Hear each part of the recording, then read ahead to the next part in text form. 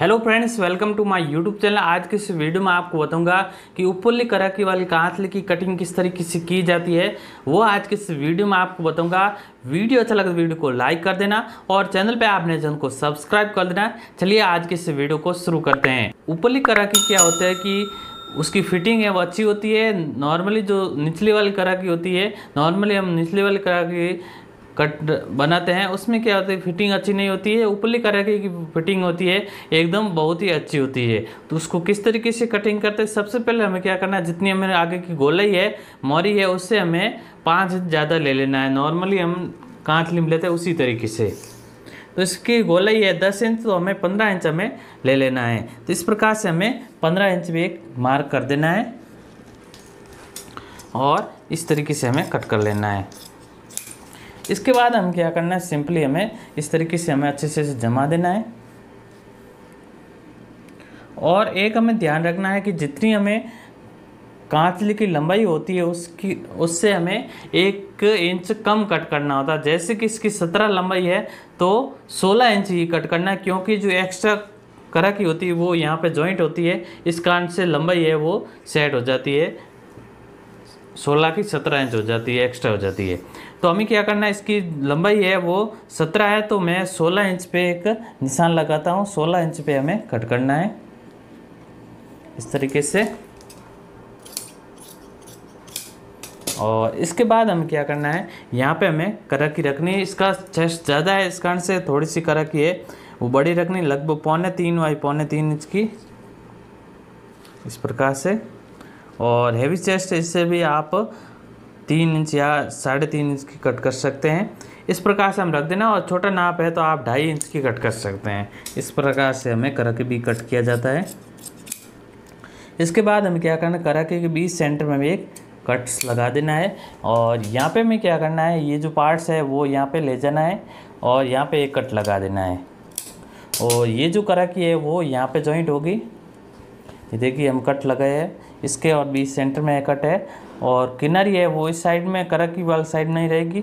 इस प्रकार से हम आमने सामने रख के हमें इस तरीके से जॉइंट हो जाएगी। इसी तरीके से ये भी हमें इस साइड में जॉइंट होगी और फड़का है वो इस साइड में जॉइंट होगा। आप कमेंट करेंगे तो इसमें मैं वीडियो बना दूँगा कि ऊपरली करकी वाली कांचली कि सिलाई किस तरीके से करते हैं। पहले मैं फड़का कट कर देता हूँ। फड़का बाकी कपड़े में बचा है, वो उस तरीके से हमें कट कर देना है। सात इंच का हमें फड़का रखना है। ये देखिए। तो ये फड़का है वो यहाँ पे अटैच होगा। ये देखिए।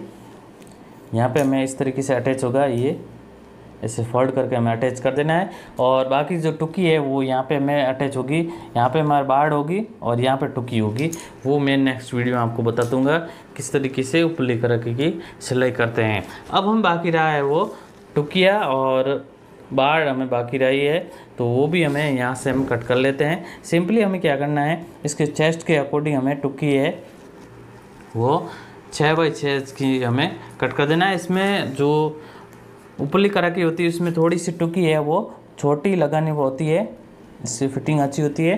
तो मैं इसमें पौने छः इंच के ही रखूँगा। नॉर्मली हम छः इंच रखते हैं। अड़तीस चेस्ट की ये कांच लिए। इस तरीके से। और इसके बाद में बाढ़ हमें रखनी है। सात बाई साढ़े तीन इंच की।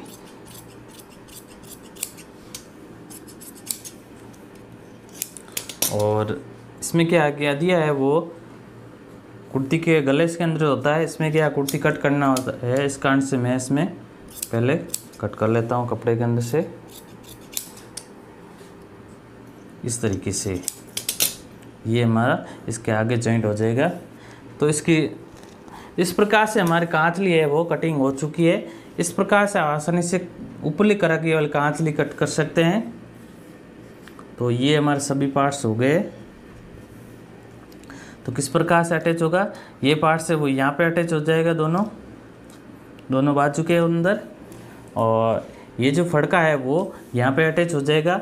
इसके बाद में क्या होगा कि ये जो बाढ़ है, वो यहाँ पे अटैच होगी और जो टुकीज है, वो हमारी यहाँ पे होगी इस प्रकार से। और अधिया है, यहाँ पे होगा। इस प्रकार से यहाँ से गला बनेगा। तो मैं इसमें नेक्स्ट वीडियो में आपको सिलाई बताऊँगा, किस तरीके से ऊपर वाले कांच की सिलाई करते हैं। तो इस तरीके से आप आसानी से ऊपरली करा के हाथ लेके सिलाई कटिंग कर सकते हैं। Thanks for watching